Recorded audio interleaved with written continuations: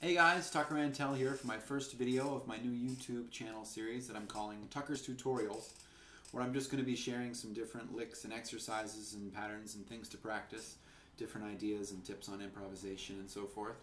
Um, I'm going to divide it up in the week with three different videos per week. Uh, Monday is going to be Blues Lick of the Week for the Monday Blues. And then uh, Wednesday is going to be Wednesday Workout, where it's just going to be uh, different patterns and exercises, uh, different things I like to work on uh, to improve technique and fluidity. And on Friday, which is today, it's uh, going to be called Friday Finish Line, where I play a line or a lick, and then you submit an audio or video response finishing the lick for me.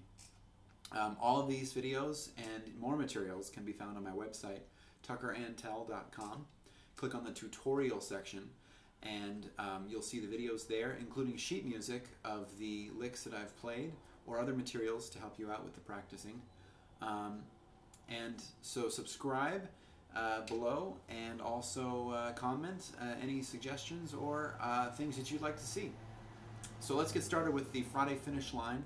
Um, this lick um, could be thought of as a C major lick or also an A minor lick, the relative minor. So um, I guess I'm thinking right now I'm um, in C major 7, concert that is. So D for tenor and A for altos. And it goes like this. One, two, three. One, two, three. So slow down. One, two, three.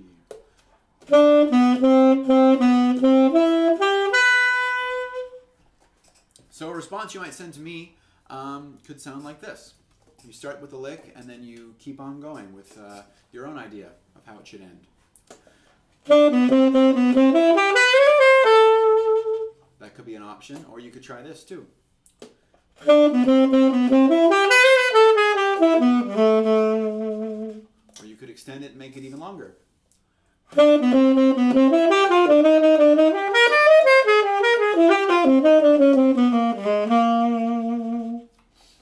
Lots of different things you can do. Of course, I changed keys there a little bit. You're free to do that. You can play over any kinds of changes you want. I really like practicing these kinds of things to um, sort of build up your creativity and also uh, work on fluidity, getting in and out of licks, um, and so forth. It also helps uh, you um, practice getting different variations on licks you've learned instead of always playing it the same way every single time. So um, that can be a really fun and very helpful thing to do. So cool, have fun with that. I look forward to your responses. And I will see you on Monday with the Blues Lick. See you then.